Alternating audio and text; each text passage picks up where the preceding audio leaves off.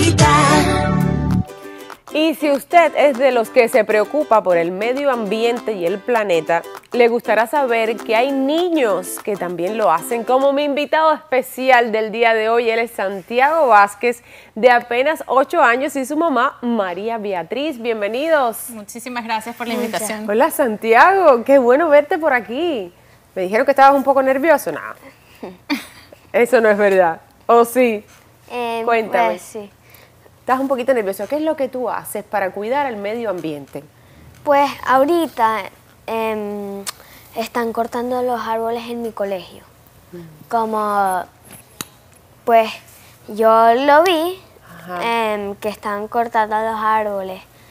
Pues em, después yo dije, "S- no corten los árboles. Claro. Em, después mis amigos me vieron, entraron porque creían que era funny, también porque es verdad, están cortando los árboles. Pero güey, ¿tú, tú fuiste y hablaste con quién? em, fui- hablé con como el que me hizo el video. Ajá. Ay, fuiste y hablaste con una persona y le dijiste, yo estoy preocupado por esta situación. Sí, Fue así. sí. ¿Y qué le dijiste? ¿Y por qué están cortando los árboles de tu escuela? Porque eh, est- están haciendo mi escuela, porque estamos en una escuela, escuela nueva. Em, y están construyendo un lado de la escuela para poner el soccer field, la piscina y todo eso. Y tienen que cortar los árboles. Ajá. Y entonces cuando tus amiguitos te vieron que tú fuiste a reclamar que no cortaran esos árboles, ellos se unieron a ti. Sí, sí. Y entonces ahora son un grupo de niños reclamando por la tala de árboles en la escuela. Sí. ¿Y qué han logrado? Pues todavía nada. Y si, tú, y si esos árboles tú dices que hay que sacarlos de ahí para poder seguir construyendo, ¿qué tú piensas que se debe hacer? Em, sembrar más. Sembrar nuevos árboles, Sí. exactamente. ¿Y sabes más o menos, tienes una idea, si cortan esos árboles, dónde los pueden sembrar? Pues hay dos maneras que lo podemos son- son- sembrar. Eh, porque hay, como ya vi cómo era la escuela, cómo va a ser la escuela, eh, hay- va a haber unos árboles que ya yo sé dónde van a ver todos los árboles. Como si nos dejan, si hay espacio, yo le voy a poner atrás del colegio y a frente del colegio, porque yo lo que, mi primera cosa que yo pensé es hacer un corazón. Ah, ya, perfecto. Y sembrar así. Ok. Eh, déjame hablar un poquito con tu mamá para que me cuente de dónde viene. Él es un niño pequeño, tiene apenas 8 años. Eh, ¿De dónde le viene esta preocupación a un niño tan chiquito por el medio ambiente?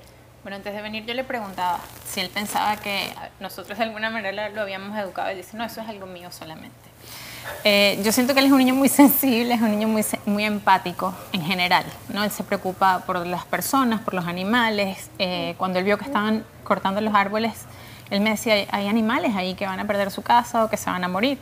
Y la verdad fue una conversación en la mañana mientras yo lo llevaba, que él me dijo, yo quisiera hablar eh, pues para que esos árboles que están cortando los vuelvan a sembrar, porque esto nos está trayendo un problema y él tiene como hechos de, de, eh, por ejemplo, un árbol, eh, Santiago, un árbol, eh, ¿cómo colabora con el, con el medio ambiente en relación a la contaminación de los carros? Em, puede, con- puede, em, res- puede hacer Absorber, ¿no? absorber em, la contaminación de los árboles de, s- de 100 carros que vienen. Un solo, solo árbol, árbol, puede absorber la contaminación de 100. Pero Wow. eso, eso no es todavía todo. Eso es la comida del árbol. Y esa comida del árbol lo hace en oxígeno. Lo convierte en Lo oxígeno. convierte en oxígeno, en CO2, claro que sí, que es el- lo, lo que respiramos nosotros en la Tierra, Sí. por supuesto, pero qué cosa, Entonces, este, bueno, este niño, díganme algo de este niño, por favor. Llámenme 305-396-1454. ¿A cuántos niños a su alrededor usted ve preocupados por el medio ambiente de esta manera? Y no solo es, no solo que se preocupe, sino que está haciendo algo. Entonces, bueno, tuvimos esa conversación en la mañana y le dije, me gusta mucho tu idea, deberíamos pues conversarlo. Pero ese mismo día él se la comentó a una profesora, a tu profesora de ética, ¿verdad? A Miss Mendoza.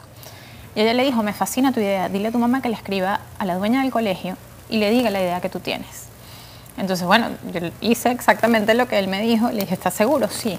Entonces eh, le escribí, le dije, Santiago tiene esta idea y ella me dijo, me encanta, déjame hablar con él. Entonces ya todo se encargó el colegio directamente con él de decirle, bueno, es una propuesta, como un dibujo, en realidad fue lo que le pidieron, nosotros fuimos un poquito más allá, planteamos cuál era el problema, cuál creía él que era la solución y él presentó pues dos, eh, dos opciones, ¿no? Eh, esta en forma de corazón, sembrar los árboles en forma de corazón y había otro que era como alrededor del campus, porque va a ser el nuevo colegio, que es lo que están construyendo, el, nuevo edificio del colegio. Ahorita ellos están en, un espacio temporal que también es parte de, del colegio. Entonces, bueno, lo presentó, tuvo una reunión con el dueño del colegio que le, hizo la me visita. Digas.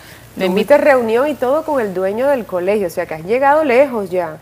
Y estás esperando a, que, a ver qué respuesta te dan. ¿Y cómo ha avanzado eso, María? Le hicieron un video que lo postearon en las redes sociales del colegio eh, donde presentan el proyecto y em, donde él invita a que se unan porque lo que creemos es que en algún momento cuando ya el campus esté listo y esté el, espacio adecuado, pues entonces harán un evento para, para sembrar esos árboles. Bravo, te felicito desde ahora, desde que haya, desde que la solución se, se lleve a cabo, ya te estoy felicitando por, el, por ese trabajo tan grande que has hecho tú solito en la escuela.